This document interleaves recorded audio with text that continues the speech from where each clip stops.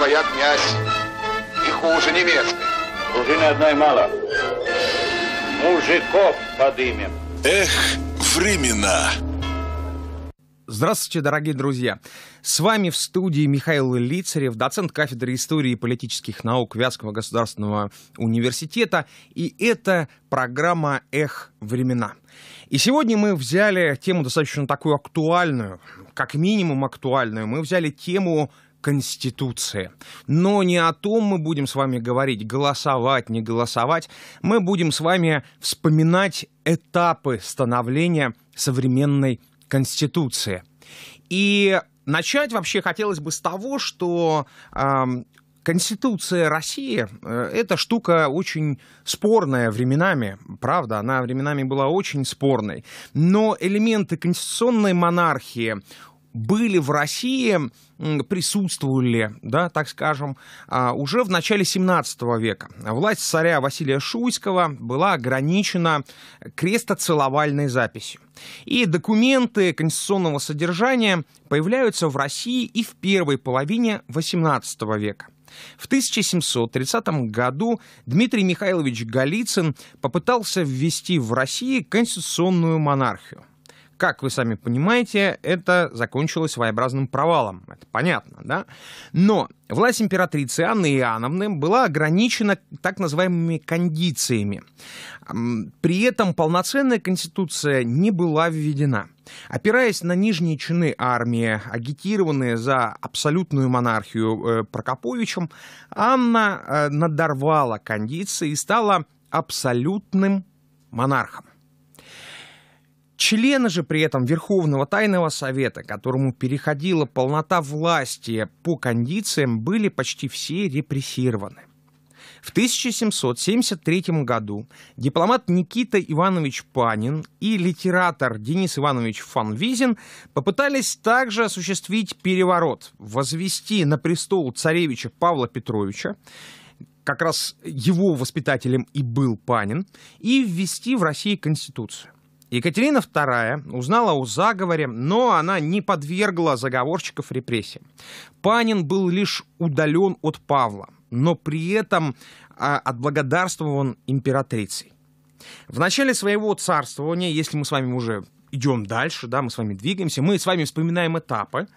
Э, и в начале своего царствования Александр I хотел ввести в России конституцию, но по итогу отказался от этой идеи. Как мы знаем, уже после заграничных походов, уже после появления первых, э, первых обществ декабристов, политика Александра I переходит скорее на лад консервативный, нежели либеральный.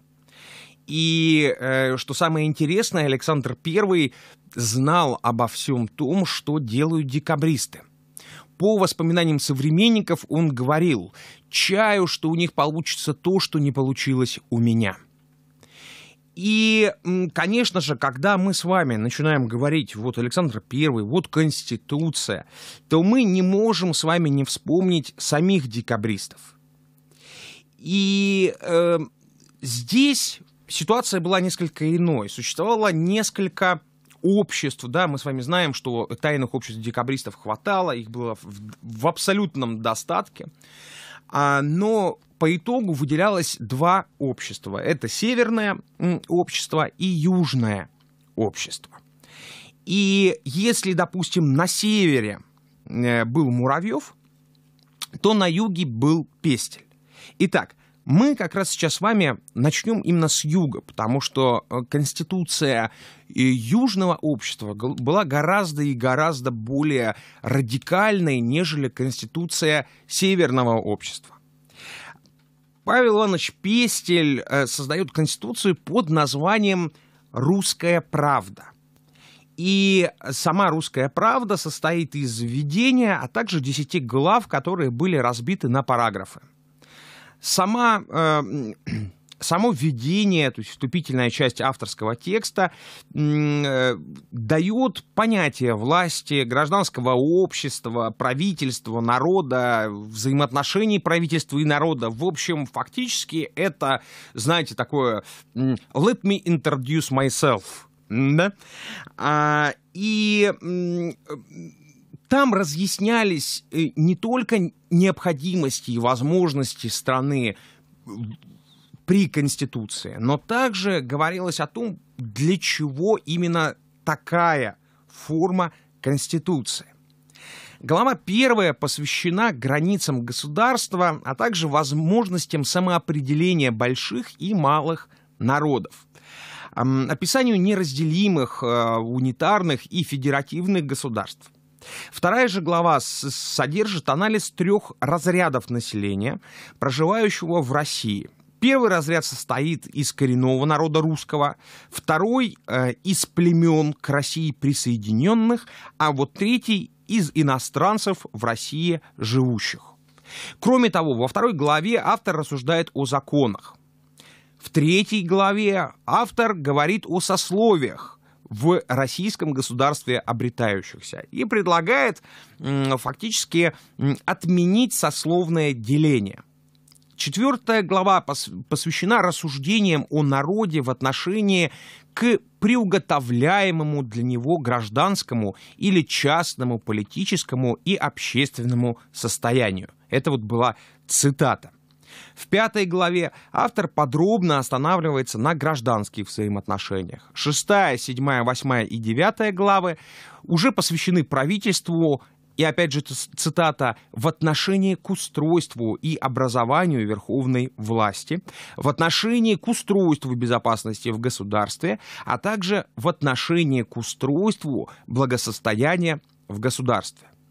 И в последней десятой главе содержался наказ для составления государственного уложения – в качестве заключения Павел Иванович Пестель э, предлагал выдержки из «Русской правды», которые содержали, цитата, «главнейшие определения и постановления». А вообще русская правда, о которой, кстати, очень часто говорят, ну, не столько в русской правде, да, сколько о конституциях декабристов, э, сколько вообще в принципе о самих декабристов. Но вот русская правда — это достаточно пространный документ, который содержал как рекомендации законотворца, так и теоретические обоснования данных рекомендаций. Как бы сейчас сказали, комментарии предлагаемых новелл. Но у нас вызывает интерес определение государства через гражданское общество, которое как раз и предлагал Пестель. Гражданские общества, будучи устроены и в порядок приведены, а, получают название государств.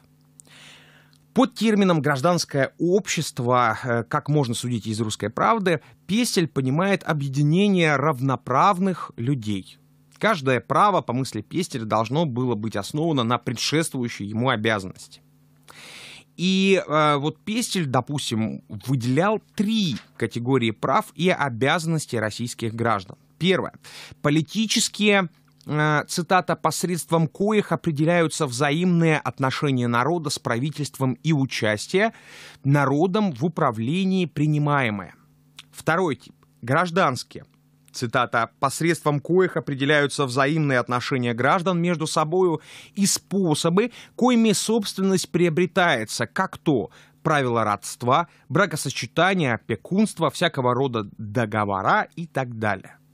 И третье – это личное – цитата, посредством коих определяются образ действий и существования граждан в тех случаях, когда они не находятся в непосредственном сношении ни с правительством, ни с другими гражданами, и когда дело идет об них одних, например, свободное вероисповедание, свободная промышленность, личная свобода и тому подобное. А Конституция Пестеля вообще, и мы с вами должны понимать, да, что расхождение декабристов на северное и южное общество было вызвано в первую очередь с как раз идеологическими расхождениями. Это период как раз формирования какой-либо идеи. Это как раз формирование тех вот моментов, да, которые мы имеем сейчас, имели в начале 20 века, в конце 19 века. Да. Это вот оно самое и есть. Декабристы стали пионерами политической мысли в России. Уже более демократичным выглядит, конечно же, проект Конституции Муравьева. Никиты Михайловича. Э, она так и называется «Конституция». А вот, и э, здесь уже нужно м, отметить, э, если «Русская правда» — это произведение э, все-таки э, юридическо-философского характера, которое э, синтезировало современное э, представление автора, э, то проект Муравьева это прежде всего инструкция по устройству государственного управления и организации правоотношений. Э, продекларировав в самом начале своей конституции, что русский народ, свободный и независимый, не есть и не может быть принадлежностью никакого лица и никакого семейства, а также то, что народ является источником верховной власти, Никита Михайлович Муравьев переходит непосредственно к роли отдельного человека в осуществлении власти и управления. И э, очень часто Муравьев употребляет термин гражданство, да, он говорит, что гражданство есть право участвовать в общественном управлении и прочее, прочее, прочее. А к гражданам он относит тех жителей Российской империи, которые имеют право участвовать в государственном управлении. Тут как бы все, проф, все просто. Но должны были быть выполнены некоторые условия. Во-первых, быть не моложе 21 года. Второе, иметь известное и постоянное место жительства. Третье, обладать здравием ума, то есть, ну, фактически не быть э, психически больным, да, там, или умалишенным. А, четвертое, обладать личной независимостью. Пятое, исправно платить налоги. И шестое, быть непорочным пред лицом закона. Иностранец, который прожил в России не менее 7 лет, э, имеет право просить у судебной власти предоставить ему российское гражданство. Но при этом он должен заранее отказаться клятвенно от правительства, под властью которого прежде находился. Была цитата. А проект Муравьева предусматривал временную и вечную утрату гражданства. Гражданство могло теряться на время, если, допустим, э, суд э, объявлял о расслаблении ума. То есть о том, что человек стал хуже думать, мыслить, рассуждать. Следующее – это нахождение под судом. Третье – судебным определением о временном лишении прав. А, или же, допустим, следующее, да, объявленным банкротством, а также общественную недоимкою, нахождением в услужении при ком-либо, и последнее – неизвестностью места пребывания занятий и средств к, пропитанию. Гражданство терялось навсегда в следующих случаях. Первое – вступлением в подданство иностранного государства. Второе – принятием службы или должности в чужой земле без согласия своего правительства. Третье – приговором суда к бесчестному наказанию. И последнее, четвертое, если гражданин без согласия веча примет подарок, пенсию, знак отличия, титул или звание почетное или приносящее прибыль от иностранного правления, государя или народа.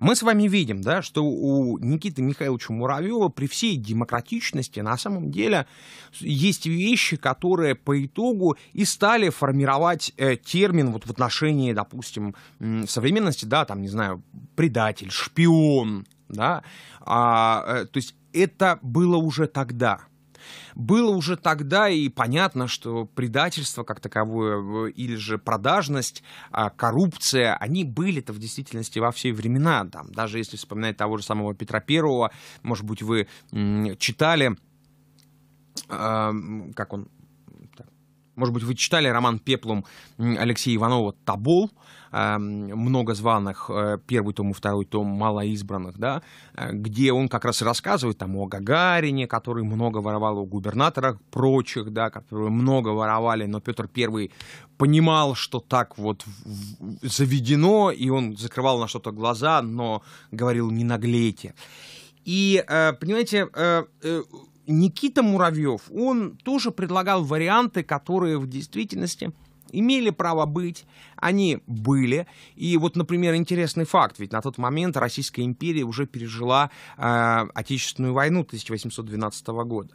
И, дорогие друзья, представьте себе, до начала э, Отечественной войны большинство, большинство дворян знало французский язык лучше, чем русский. Некоторые из дворян вообще, э, как бы так сказать, не кумекали по-русски. И тут война с Францией, с их фактически идеалом, культурным, да, идеалом духовным для кого-то, даже идеалом. Каков был перелом? Каков был слом?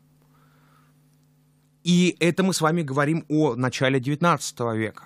Сейчас уже 21 век как бы э, это глобализация, э, это транснациональные какие-то формирования государства, глобальная экономика, прочее, прочее, прочее, прочее, прочее. Э, культура проникает гораздо быстрее, и мы открыты для многих всяких разных культур.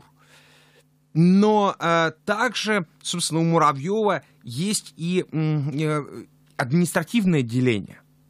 Вот смотрите, например, Муравьев э, по своей конституции делил Россию на 13 держав, э, две области, 569 уездов или поветов, э, которые состояли из властей. Главами же держав являлись по конституции державные правители – о главах областей ничего не было сказано, но, судя по всему, можно по аналогии называть их областными правителями. А сам Муравьев э, подробно рассуждал о должности ежегодно избираемого э, тысяч, э, Тысяцкого, главы уезда. В выборах его принимали участие только граждане, и вот желающему занять эту должность необходимо было соответствовать требованиям там, 20, 21 год, да, иметь безупречную репутацию, владеть недвижимым имуществом. То есть фактически это был, это был правовой ценз, это был э, финансовый ценз. И, понимаете, мы с вами можем читать и дальше изучать, рассматривать, но нужно знать одну вещь. А, первое вообще, самое первое общество декабристов, будущих декабристов, появляется в 11 году. Они были юны, они были мальчиками, они были теми людьми, которые романтично все представляли. Они не думали о революции, они не думали о войне. Все было совершенно иначе. И э, их первое тайное общество носило такой характер, э, знаете, э, какого-то такого романтического чего-то. Дружеско-романтического, я бы даже так сказал. По их мысли, необходимо было уйти на остров Сахалин, там создать вольную республику, а местных туземцев обучить всяким премудростям премудростям строительства, экономики, прочего, прочего, прочего. Каждый вот из этих вот всех друзей а, становился министром и отвечал за свою сферу. Они заново начинали что-то строить с абсолютного нуля, обучая там при этом людей, да. И они здоровались и прощались, пожимая друг другу средний палец и шепча при этом на ухо «чук». Вот настолько все было романтично. Ну, понятно, война ввела свои коррективы, э, война повлияла на их умы, и э, это был, была проба пера. Это, конечно же, была проба пера. Но когда мы с вами рассуждаем об этом, мы с вами прекрасно знаем, чем закончилось восстание декабристов. Да? Мы с вами прекрасно знаем, чем закончилось восстание в Черниговском полку. Это все вещи известные. И в тот же самый момент это был первый кирпичик.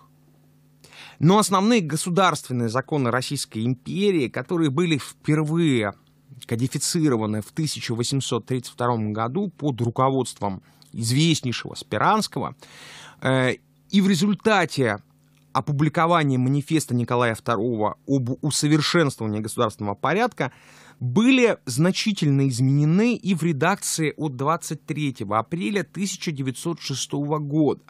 Они фактически и стали первой конституцией России.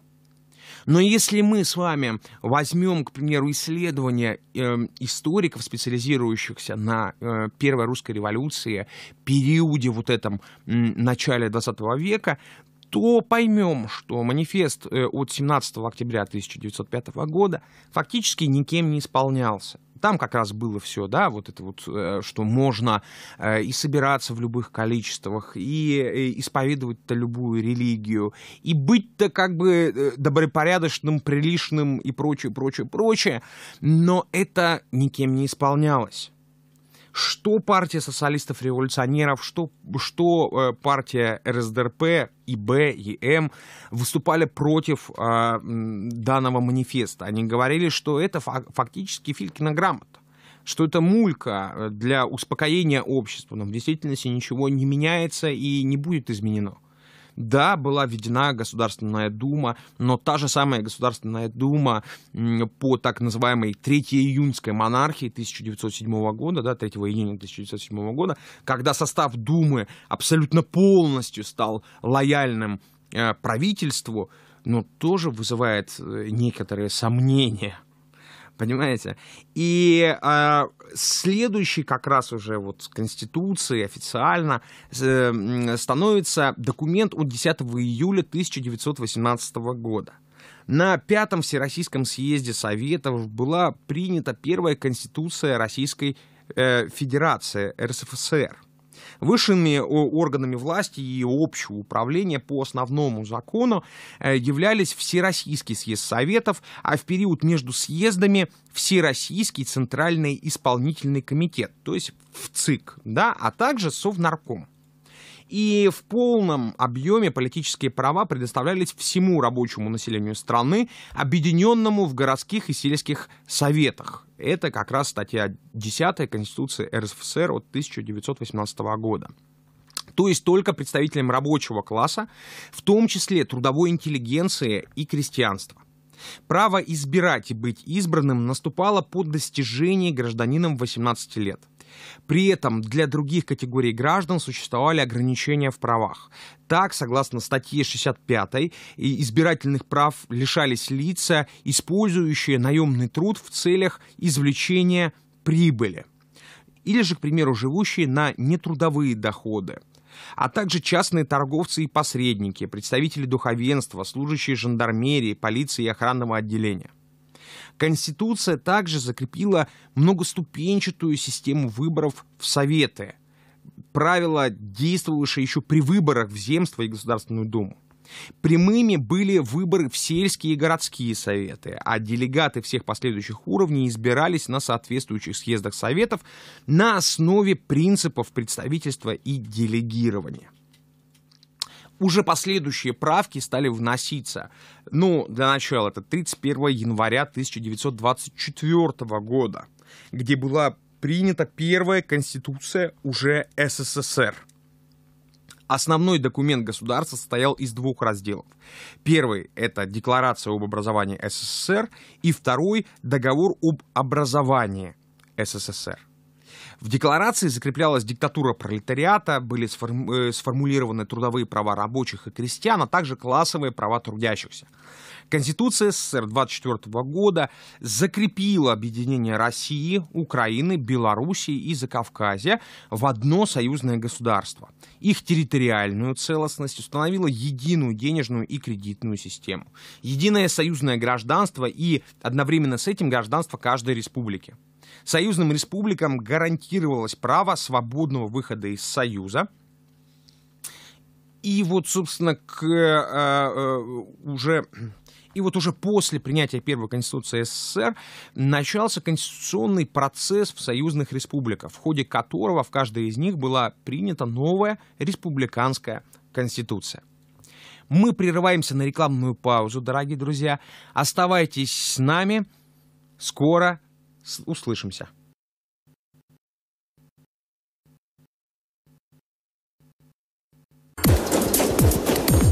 Эх, времена. Итак, еще раз здравствуйте, дорогие друзья. С вами Михаил Илицарев, доцент кафедры истории и политических наук Вятского государственного университета программа «Эх, времена». Мы продолжаем как раз разговор о Конституции, о истории Российской Конституции. И закончили мы как раз на э, Конституции по образованию СССР. Да? А, сейчас стоит отметить, что Конституция менялась, и Конституция правилась, э, вносились поправки, э, добавлялись новые статьи.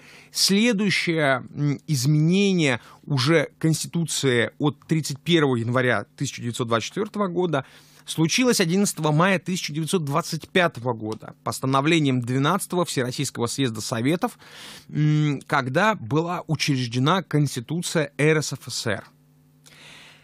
Принятие новой Конституции РСФСР было обусловлено вхождением э, в состав новообразованного государства, то есть СССР.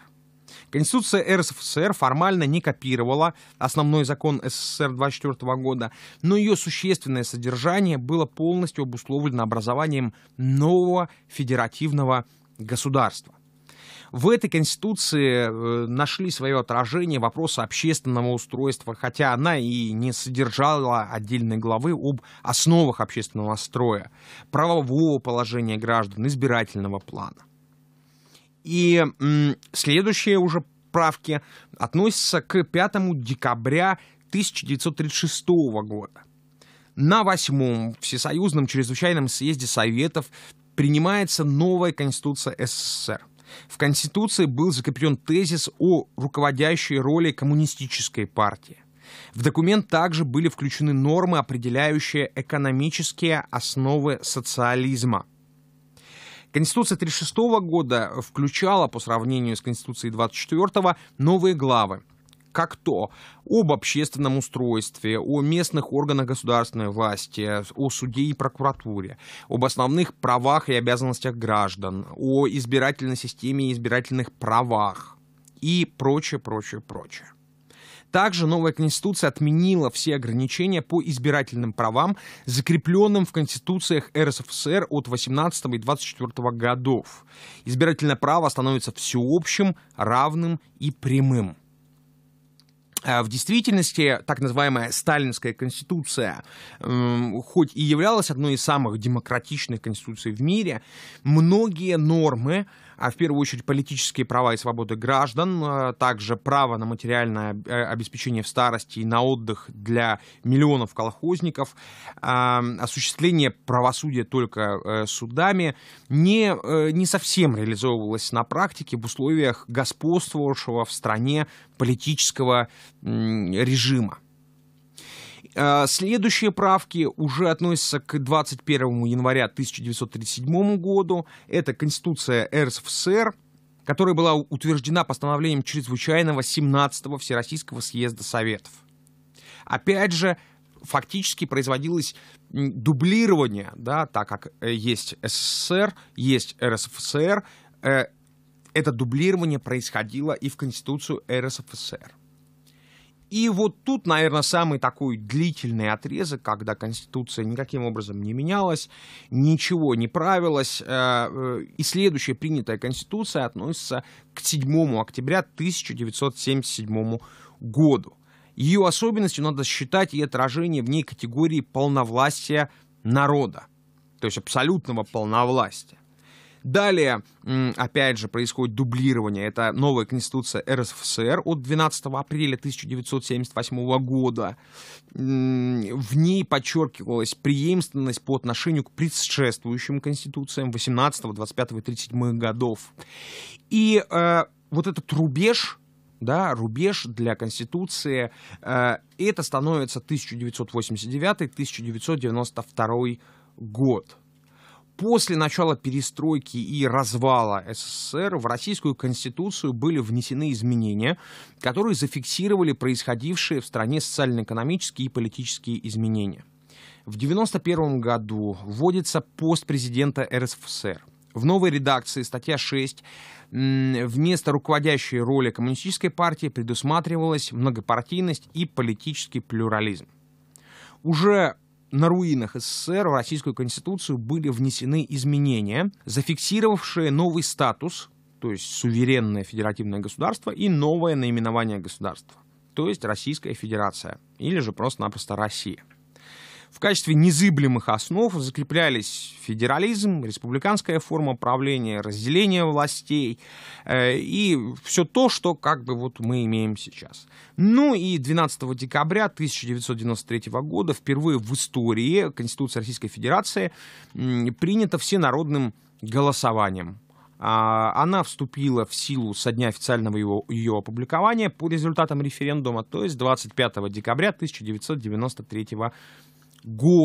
У некоторых историков-правоведов считается за норму сравнивать э, в действительности вот, Конституцию 93 года с пробным вариантом Конституции Временного правительства, которая появилась в э, России после февральской э, революции.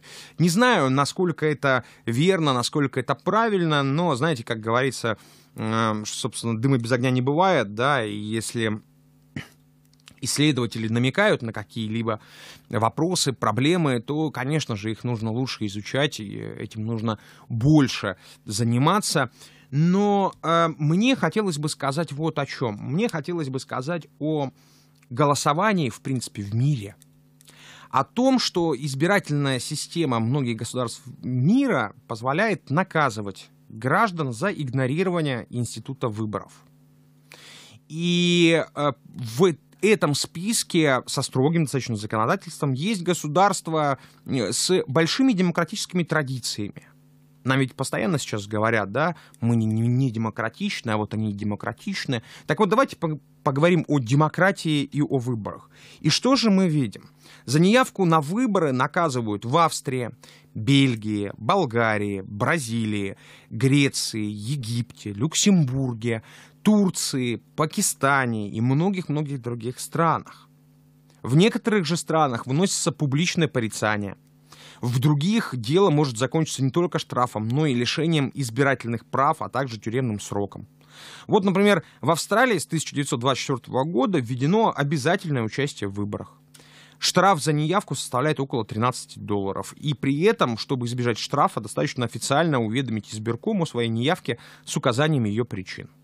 Если не проголосовавший избиратель отказывается уплатить штраф, то дело направляется в суд магистратов, где определением о признании виновности может быть наложен штраф в размере 50 австралийских долларов плюс оплата расходов. При неисполнении судебного определения об оплате штрафа лицо может быть наказано выполнением общественных работ, арестом имущества, либо помещено в тюрьму на 1-2 дня. В Аргентине, кроме штрафа за неучастие в выборах в размере от 20 до 200 долларов, предусмотрено такое наказание, как лишение гражданина возможности в течение трех лет занимать государственные должности. В Бельгии, например, также обязательно избирательное право, то есть голосование в принципе обязательно, и существует оно с 1893 года. Первая неявка на выборы без уважительной причины карается штрафом в 50 евро, а в случае повторного нарушения сумма штрафа увеличивается до 125. После четвертого прогула гражданин лишается избирательных прав на 10 лет, а также возможности получить должность на госслужбе. В Бразилии в Бразилии неучастие в выборах грозит не только штрафом, но и необходимостью в письменном, в письменном виде объяснить причину неявки на участок для голосования. В Греции отсутствие избирателя в, стране в момент выборов не является уважительной причиной для неучастия в голосовании. Помимо штрафов за неявку могут последовать и более серьезные санкции, вплоть до ареста и тюремного заключения на срок от одного месяца до одного года, а также лишения званий и должностей. В Египте сумма штрафа не превышает 1 доллар, однако не пришедшим на выборы также грозит тюремное заключение. В Люксембурге, например, штраф за первую неявку 80 долларов, за вторую 240. Более суровым наказанием является временное лишение избирательных прав по постановлению суда. И иногда вот такой лишенец, да, он не может быть принят на государственную и муниципальную службу. Например, учителем в школу. Угу учителем в школу, содержащуюся, э, содержащуюся на средства местного бюджета. В Пакистане За неявку на выборы в лучшем случае грозит штраф 60 долларов, а в худшем — каторжная работа сроком до 5 лет. В Республике Сербия за неучастие в голосовании предусмотрено наказание в виде денежного штрафа. В Турции за неявку на выборы предусмотрен штраф в размере около 14 долларов, а злостные нарушители подвергаются уголовному преследованию. Практика так, наложения штрафов таких в размере от 25 до 70 евро существует также и в Австрии, Германии, Италии и на Кипре. К чему это все, дорогие друзья? Близится голосование. Ну, совсем вот прям близится. 1 июля, что тут, господи. Считайте, что завтра. И мне хочется сказать вам следующее. У нас никто никого не штрафует. У нас более чем демократично относится даже к тем, кто не голосует. Нам дают возможность голосовать прямо напрямую из дома. Ну, не хотите дома, пожалуйста, идите на участок. Ну не хотите голосовать? Да, пожалуйста, не голосуйте. Вам не будет штрафа, вам не будет каторжных работ. Вам ничего не будет. Мы с вами можем говорить все, что угодно. Демократическая система в действительности абсолютно везде одна. Абсолютно везде одна. Так, дорогие друзья, не нужно мешать людям делать их выбор. С вами был э, Михаил Лицарев, программа «Эхо времена». До новых встреч, дорогие друзья. Всего доброго. До свидания. Эх, времена.